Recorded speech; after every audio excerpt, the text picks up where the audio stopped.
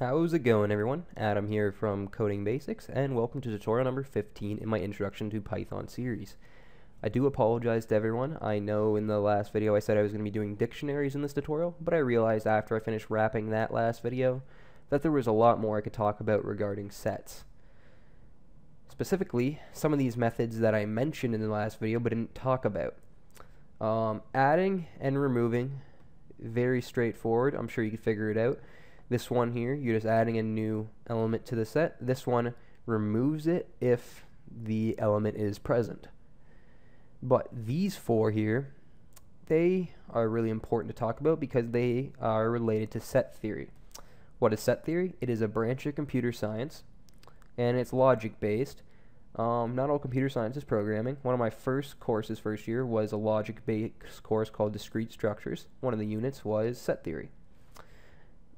Uh, I'm not really sure how to give you a, a, really concise definition on set theory, so if you're interested, go to Wikipedia and look it up.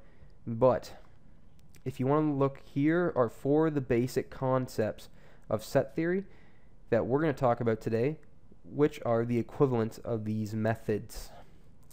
And the only other thing I have here is uh, Venn diagrams because they do help you visualize set theory. So let's get started. First one is the update method which is equivalent to the union concept in set theory, which is where you take two sets and you add their elements together. And one thing I'd like to mention too, all these concepts still follow the uh, rules of a set. Um, so still unordered and still unique items. So if you look here, you have these two sets. First one has the numbers 1, 2, 3 in it. And the second one has the numbers 2, 3, 4. When you take the union, it takes all the elements and adds them together, but it's still a set because it's unique numbers. Even though there's a 2 in both of them sets, only one of the 2's is added, and the same thing with the 3. So that is your union, and it is the update method in Python. So let's launch Python in PowerShell, and let's create two sets. So set 1, I'm just going to set it equal to 1, comma 2, comma 3, and then set 2, I'm going to put a lot more in.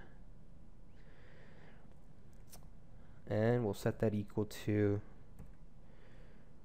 uh, a bunch of random numbers. So let's put a couple 8s in here. How about a 9, a 7, oh, a 2, a 4, a 5. Alright, so that is our set. We're going to do the update method now. So we're going to take set dot update update and then you pass in set 2 and it's going to apply the union to set. So now if we call set you'll see all the unique elements in this set have been added to this one. And it still follows the rules of a set because it didn't add an extra 2 didn't add an extra yeah I guess 2 is the only one that's in both of them so it didn't add an extra 2 uh, let's redefine set, and we'll set it equal to 1 comma 2 comma 3 comma 4. Alright. And now to the next one, we're going to do intersection. Intersection, if we look at the Venn diagram, is best described using this Venn diagram. So think about you have these two sets. This is set, this is set 2. The intersection of the two is whatever is in both sets. So the intersection, this black area. And that's the same definition they'll give you on Wikipedia. And for Python, it is the intersection underscore update method. So we got set. We're going to do set dot update, or sorry, intersection update, my bad. Intersection underscore update. And we're going to pass in set to. And now, when we call set it's only going to have in it the numbers 2 and the number 4. So let's call set. There you go, 2 and a 4, like we wanted. Alright, rolling along here, we're next going into difference. Um, difference is, if we look at our Venn diagrams again, it's kind of like this one. So we have this set, and difference is basically all the uh, all the elements that are in set, but you take away any of the ones that are in set 2. And that's the same definition for the set difference on Wikipedia, this one right here. And let's do that in Python now. So set uh, is going to be equal to, and we'll set it to 1, 2, 3, 4 again. 1, 2, 3, 4. Now you're going to notice when we do the set dot difference underscore update um, we are going to pass in set 2 again. And you'll notice because both of the numbers in uh, set that are in set 2 are the 2 and the 4 so they're going to be removed so set only has a 1 and the 3 now. The 2 and the 4 were removed. So you can almost think of um, intersection and difference as opposites of each other, in a sense. Next is the symmetric difference update, which um, returns a single set containing all the elements in the sets like the two different sets, but it doesn't include the ones that are in both sets. So let's look here. It would be like this one here. So returns the elements in set and set 2, but not the ones that are in both of them. So it removes any ones that are in both. So you have set, we'll set that equal to 1, 2, 3, 4 again. Alright. And now set uh, dot symmetric underscore symmetric underscore difference underscore update.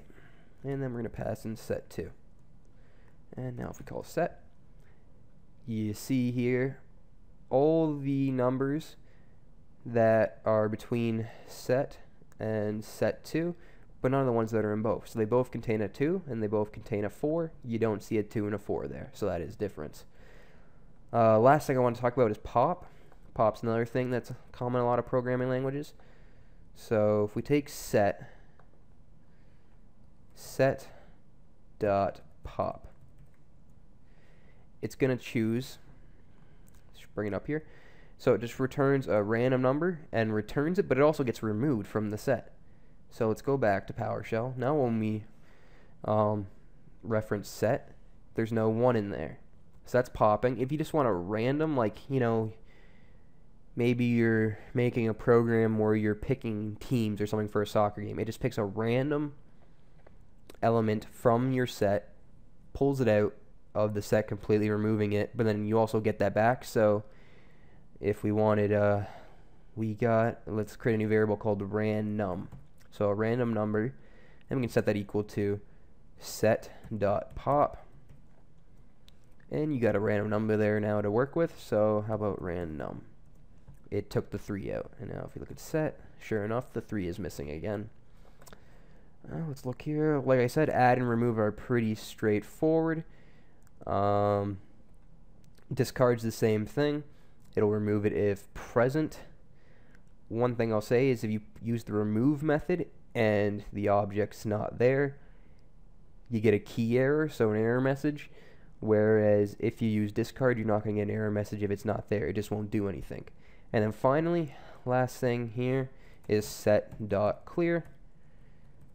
And when we run set, there's nothing in it now.